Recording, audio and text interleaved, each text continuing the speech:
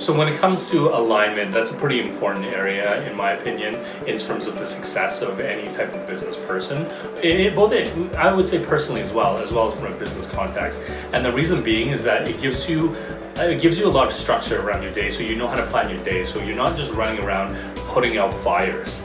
Literally, you will pull your hair out just putting out fires if you don't have any structure to your day. You have to know how to set aside certain things and prioritize. And that's one thing that I would definitely say that Kyle's kind of brought to my attention is having structure within your day helps you adjust your I would almost say your goals and your values so that everything that you know is a priority can be set aside for certain periods of time.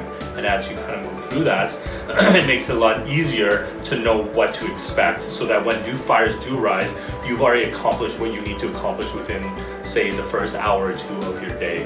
And that way, it really aligns with your overall goal and value of whatever you're trying to push for, whether it be from a profitability standpoint, whether it be more employee engagement, whether it be to bring your team closer together.